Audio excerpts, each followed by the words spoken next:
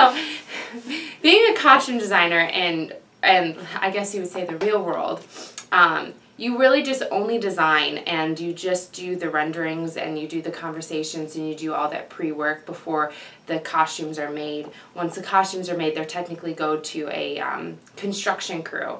Um, at North Central, we have this process where the designer does both like the design and the construction and I've been a part of that um, mostly because it's like this is my baby so I really want to be a part of the uh, building of the costumes and the hardest part for me is I'm not a very good seamstress. Um, I don't very feel competent. I'm kind of just like, yeah, I guess. Um, I'm not really good at following patterns. I'm not very patient with patterns and wanting to follow directions. So that does kind of hit it when you're sewing a costume and you don't really know which way to go next.